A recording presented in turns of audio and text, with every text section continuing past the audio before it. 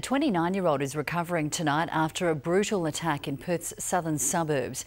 He went into his front yard to defend his property and was left battered and bleeding. We warn some images in this report are confronting.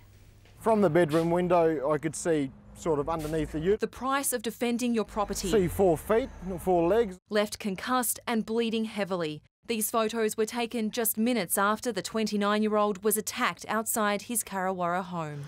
I don't know exactly, exactly what it is. He was hit with a heavy metal disc. Fairly hard, solid object, and they struck me on the head with it. The blow left an 8 centimetre gash. The victim doesn't want to be named. They try to connect some wires and try to get it going to take it.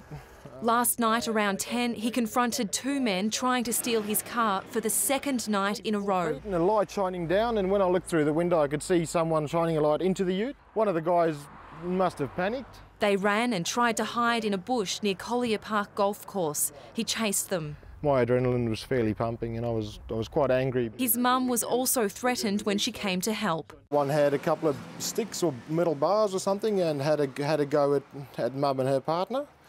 Very aggressive and threatening. A night in hospital, a hard lesson on life in Perth. It's one of the reasons we moved from South Africa to come to, to Australia because we wanted to get away from this sort of thing.